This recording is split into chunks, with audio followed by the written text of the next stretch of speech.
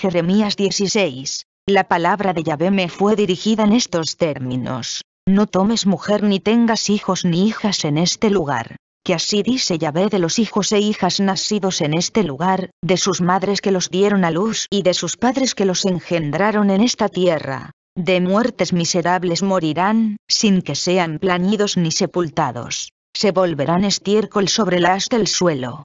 Con espada y hambre serán acabados, y serán sus cadáveres pasto para las aves del cielo y las bestias de la tierra. Sí, así dice Yahvé. No entres en casa de duelo, ni vayas a plañir, ni les consueles. Pues he retirado mi paz de este pueblo, oráculo de Yahvé, la merced y la compasión. Morirán grandes y chicos en esta tierra.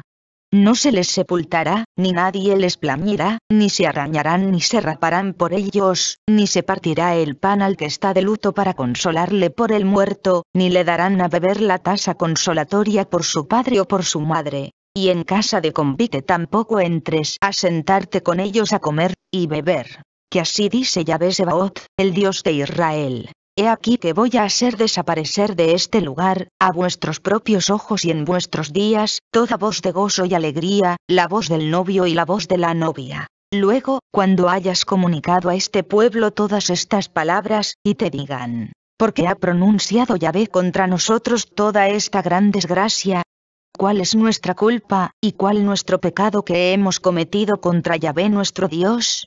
Tú les dirás, es porque me dejaron vuestros padres, oráculo de Yahvé, y se fueron tras otros dioses y les sirvieron y adoraron, y a mí me dejaron, y mi ley no guardaron. Y vosotros mismos habéis hecho peor que vuestros padres, pues he aquí que va cada uno en pos de la dureza de su mal corazón, sin escucharme pero yo os echaré lejos de esta tierra, a otra que no habéis conocido vosotros ni vuestros padres, y serviréis allí a otros dioses día y noche, pues no os otorgaré perdón. En efecto, mirad que vienen días, oráculo de Yahvé, en que no se dirá más, por vida de Yahvé, que subió a los hijos de Israel de Egipto.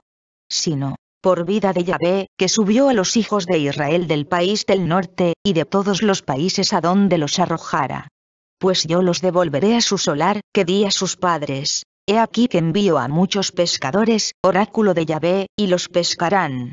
Y luego de esto enviaré a muchos cazadores, y los cazarán de encima de cada monte y de cada cerro y de los resquicios de las peñas. Porque mis ojos están puestos sobre todos sus caminos. No se me ocultan, ni se zafa su culpa de delante de mis ojos. 18 Pagaré doblado por su culpa y su pecado, porque ellos execraron mi tierra con la carroña de sus monstruos abominables, y de sus abominaciones llenaron mi heredad. Oh ve, mi fuerza y mi refuerzo, mi refugio en día de apuro.